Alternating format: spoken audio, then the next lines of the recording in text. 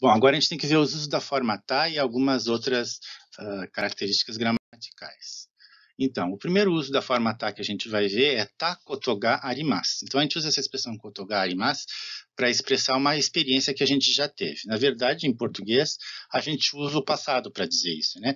Uma ni notta kotoga arimasu. Eu já andei a cavalo. Fica em português, e isso expressa a experiência de já ter andado a cavalo. Basta usar o passado em português, mas em japonês, quando isso significa, ah, eu já tive essa experiência, é uma coisa que eu já fiz, a gente tem que usar esse kotogari mas e o verbo que vem antes, ele tem que estar na forma tá. Uma ni notta kotoga arimasu. Eu tenho a experiência de já ter um dia andado a cavalo. Outro exemplo com tá é taritari shimas.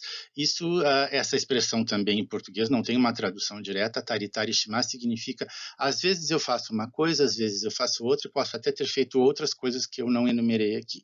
É exemplos de uma coisa que eu andei fazendo. Vamos ver de mais de uma coisa que eu andei fazendo, né? Então, vamos ver um exemplo aqui. Nichiyobi wa tênis ega o.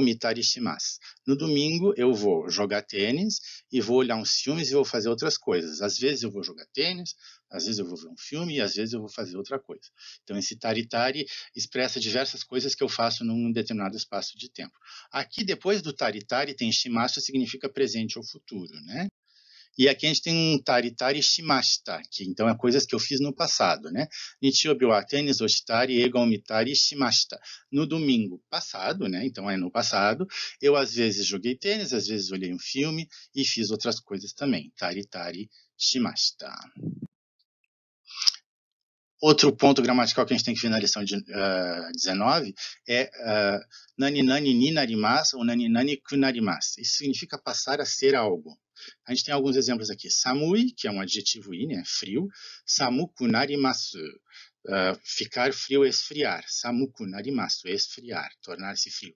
Então, o que a gente faz? A gente pega o adjetivo frio, samui, tira o i, bota ku, e aí fica ku narimasu. Samuku narimasu, tornar-se frio. Genki, que é um adjetivo na, genki ni narimasu. A gente troca o na por ni, em vez de ser ku, né? Genki ni narimasu é ficar bem de saúde.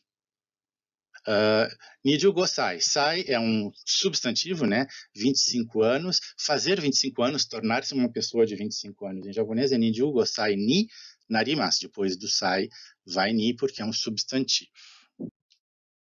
So desu né? So desu né é uma coisa que a gente usa muito em japonês.